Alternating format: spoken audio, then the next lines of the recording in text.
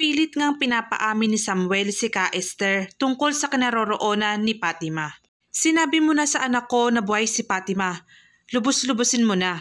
Para ano? Para ipagkalulu mo ulit siya? Siya ang unang nag-traitor sa akin, baka nakakalimutan mo. Ibang klase ka rin talaga no, kahit anong bagay kaya mong baliktarin. Aminin mo, ginamit mo lang ang kaibigan ko para tumas yung posisyon mo. Alam mong hindi yan totoo, wag mong sagarin ang pasensya ko. Kung talagang mahal mo yung kaibigan ko, paano mo nagawa sa kanya yon? Hindi niya ako minahal, ginamit niya lang ako para sa kilusan ninyo. Pero mahal mo pa rin siya.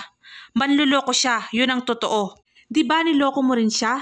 At ang masakit pa doon, nagkaanak ka sa iba. Hinding hindi mo na makikita ang kaibigan ko. Lahat gagawin niya para sa kanyang mga anak. May ibang anak pa si Fatima?